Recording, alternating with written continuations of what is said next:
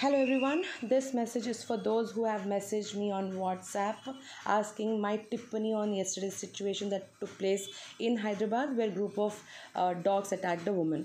I really feel pity for the woman because she is innocent. However, the dogs would have been attacked by a woman at that particular time. That's the reason the dogs got triggered when this lady was going for a walk. However, now coming to the point. Have you all ever raised your voice when a pregnant dog was stabbed 22 times by a butcher just because she was sleeping in front of the mutton shop? Have you ever raised your voice when animals like dogs and cows were raped? R A P E D. Raped by men, and CCTV footages were out, and there was no breaking news. Small puppies and mothers were killed because of your rash driving and no news coverage. Hundreds of community dogs killed in Andhra, Telangana by sarpanch heads and no news coverage. But one or such case and pura India jata hai to support to kill dogs.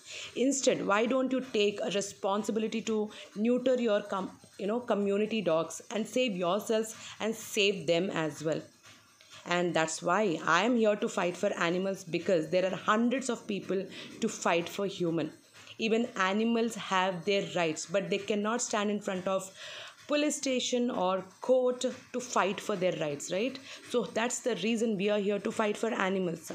Just because one incident you cannot ask or fight to kill dogs i hope that my message was clear